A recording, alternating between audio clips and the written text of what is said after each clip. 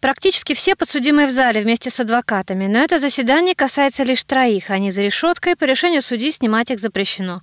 Иса Идель Султанов, Александр Травин, Светлана Индейкина в следственных изоляторах Ивановской области и Москвы провели уже три года. Их обвиняют в попытке создать преступное сообщество и покушение на мошенничество. Ни один из троих вину не признал. Прокуратура просит суд продлить им срок содержания под стражей, причем сразу на полгода, то есть до трех с половиной лет в общей сложности. Я по-прежнему полагаю, что находясь на свободе, подсудимые Травин, Диль Султанов и Индейкина, под тяжестью предъявленным им обвинений, мы все знаем, что они обвиняются в совершении ряда тяжких преступлений против собственности в составе преступного сообщества, а также в совершении одного особо тяжкого преступления.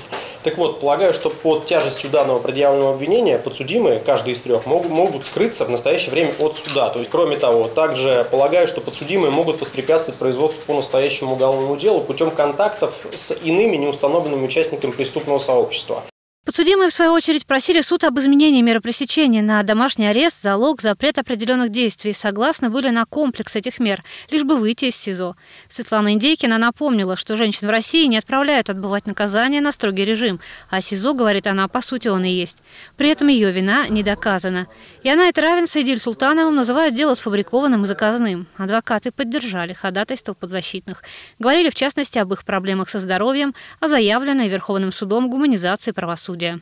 Я просил бы обратить внимание суда, что все-таки заключение под стражу избирается и сохраняется в том случае, когда невозможно избрать более мягкую меру пресечения, в то время как уголовно-процессуальный закон содержит еще целый ряд возможностей избрания иных мер пресечения, которые, как правильно сказал мой коллега, обеспечат изоляцию Исаха Кашевича от общества, в том числе дома. Сроки содержания под стражей Травина и других подсудимых превысили все разумные сроки. В данном случае у нас еще исками подсудимых женщины. Я считаю, что отношении Светланы Валентиновны этот случай вообще уникальный, и, наверное, в Ивановской области еще такого не было, чтобы такой срок содержания под стражей был и рассматривался в суде.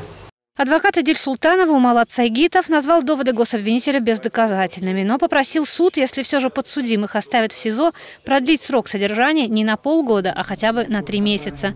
Также он подал ходатайство о личном поручительстве командира отряда Ахмата Апти Алаудинова в отношении Исы Эдиль Султанова.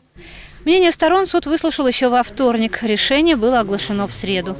Все трое подсудимых останутся в следственном изоляторе до 2 января будущего года.